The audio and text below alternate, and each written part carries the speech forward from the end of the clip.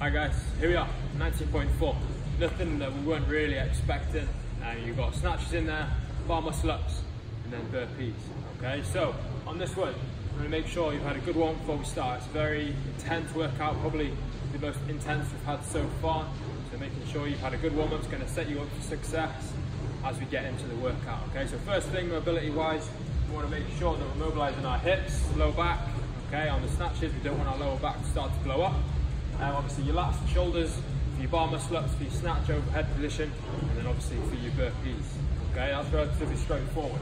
From there, all right, we're just going to work through three sets of just general movement preparation and preparing yourself for what we're going to do later on. Okay, so I would start off with five empty bar muscle snatches. Okay, obviously to start to warm your posterior chain. As around now, fast turnover, start to loosen off your shoulders a little bit too. Top of each rep, just spend a little bit of time up there, get comfortable in that overhead position. Then we're going to do seven beat swings. Okay, again, open up your shoulders to prepare for the bar muscle ups. And then nine calories on the assault bike, just at a moderate pace, just to start to raise your heart rate a little bit. Okay, from there, then you're going to warm up your movements. Okay, so you're going to warm up to the load you want to use on your snatches. Obviously, warm up a few burpees, warm up the bar muscle ups. Um, and during this time, just have a think about how we're going to approach the workout, how we're going to break up your sets, if at all. Okay, from there, you want to start to get your heart rate up, start to build towards workout intensity. Okay, so in two parts, you're going to do two sets of four power snatches, four burpees uh, over the bar, rest in 90 seconds in between. Okay, that wants to be quick. We're going to elevate our heart, elevate our heart rate as we say, get up to that workout intensity so that when we start, it's not going to hit you like a train. Okay, and you're going to do the same thing with just two bar muscle ups and then four burpees over the bar again. Okay, obviously we don't want to do too many bar muscle ups You've got a lot of reps to do in the workout. Obviously, the workout workout's going to feel a little bit different because you're obviously going to be already a little bit fatigued. Okay, so for the workout itself, obviously part one, you're going to do three rounds of 10 power snatch and then 12 burpees over the bar.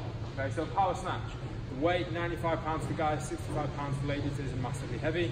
Okay, if you're comfortable your power snatches, and I'd recommend looking to do those unbroken. Okay, yeah, it might fatigue your grip a little bit for the bar muscle up, but it's paired with the burpees, so it's not like you've got two movements in there which are going to be gripping. Okay. The other thing on the power snatches is you can make the most of that time as quick as possible so that when you get to the burpees you can afford to be consistent instead of having to go flat out and sprint. Okay. In terms of the power snatch itself, obviously you want to be efficient. I wouldn't recommend a muscle snatch, probably a few too many reps and a little bit too heavy, especially paired with the burpees to go for muscle snatches all the way.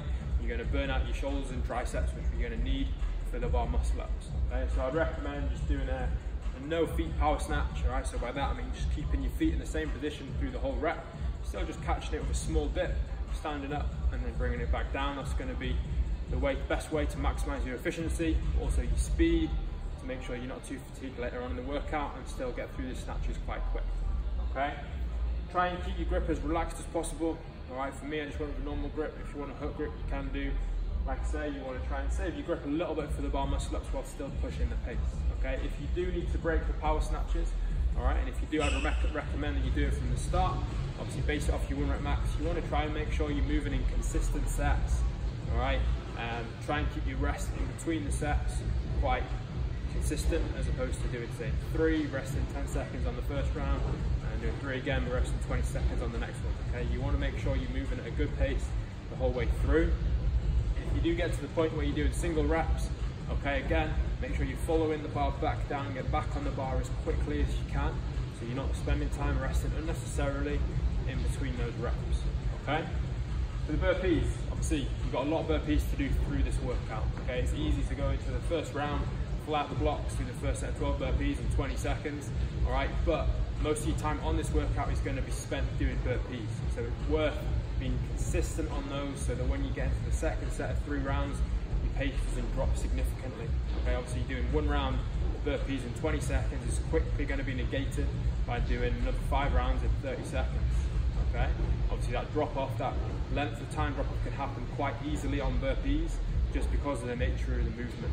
Okay, so try and be consistent on your burpees from the start make sure that you're not making any no reps. Okay, obviously it's a little bit easy on your burpees to either step over the bar, especially when you get tired, or even if it's like a half hop. Okay, so make sure you don't waste any reps on your burpees, and if you do, and when you are moving through them, be disciplined with your pace.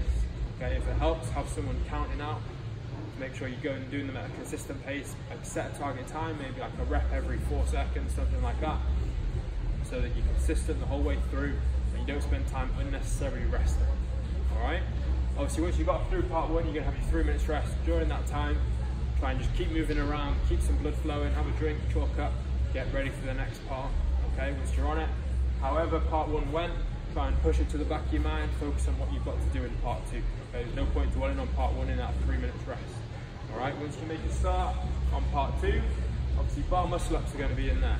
Okay, which for some people, well, for most people, is going to be the main limiting factor. Everyone can do burpees, but it's how you break those bar muscle ups which is going to affect your overall time. Okay, so most important thing, a bit like your strict handstand push-ups last week, know your limit on the bar muscle ups. Have a good idea of what your max and broken set is, so that when you're planning your reps, you know what you can consistently maintain. You don't want to get to the point where you're starting to fail bar muscle ups. Right, obviously by the time, especially by the time you get to the second round of bar muscle ups, your grip's going to be a bit more fatigued, your shoulders and chest are going to be more fatigued from the burpees. All right, so we want to make sure you're doing consistent sets and not failing any. So as a rough guide, okay, obviously if you know your max and broken set of, of bar muscle ups, you want to try and keep it to around 40 to 50% of that max and broken sets for consistent sets. All right, so if you can do 10 reps unbroken, aim or at least start off aiming for five sets of five through the whole workout. Okay, obviously it's kipping movement this week as opposed to a strict, and you're not doing all those sets together. So that, can, that means we can afford to work in slightly bigger sets and there's less risk of burning out. Okay, you want to make sure that obviously you know you know how many reps you're going to do in your sets. You want to make sure that you're consistent across all the rounds as opposed to going out on the first round, adrenaline's high, be easy to do a set of 10, but then you don't want to crash and burn in the last two rounds when that workout's going to start to catch up with you. Okay, so know your limit and be consistent, all right? And then on that time in between your bar muscle up sets, just be strict with your rest. Okay, so again, it's easy to mess around. Chalk up, walk to the bar, have a breather, hands on your knees, all that kind of stuff. All right, but we want to make sure you know your limit, so you know how many set, how many reps you're going to do, and then you know how long you need to rest to be able to repeat that. Okay? So what we don't want to see is you taking 15, 20 seconds in between sets. All right? Be consistent. Make the most of that time. Okay? Again, your burpees, you're going to do it very same as part one. Right? We want to see consistency all the way through as opposed to flying out the gate on the first round and hitting you on the second round. Okay? If anything, we just want to have negative splits so by the last round you're really picking up that pace finishing in the, in the fastest time possible. Okay, it's a good workout, definitely finishable, and the top time probably going to see for each part is around three to three minutes or below on part one, and then probably four minutes or below on part two. Okay, so it's a fast workout. Like I said, probably the most intense one we've seen so far, um, but very enjoyable at the same time. Okay, good luck.